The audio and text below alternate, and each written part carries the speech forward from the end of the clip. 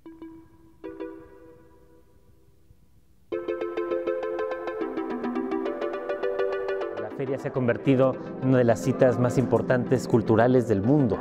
No solo la feria en español más importante existente, la segunda más grande del mundo después ya de Frankfurt, sino una cita imprescindible. Siempre que se privilegie la cultura y la educación, se privilegia también la democracia. Entonces el apoyar citas como esta,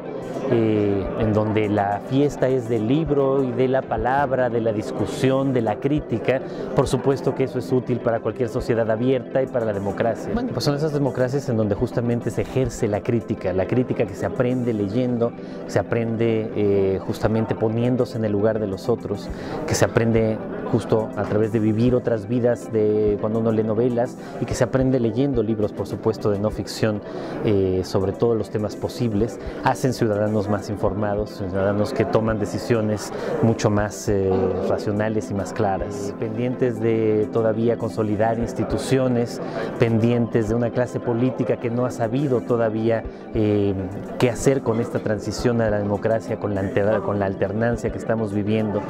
eh, una democracia que todavía tiene que perfeccionar muchos de sus instrumentos, sobre todo en el Poder Judicial, sobre todo todavía en la articulación entre el Ejecutivo y Legislativo, en la participación ciudadana, etc.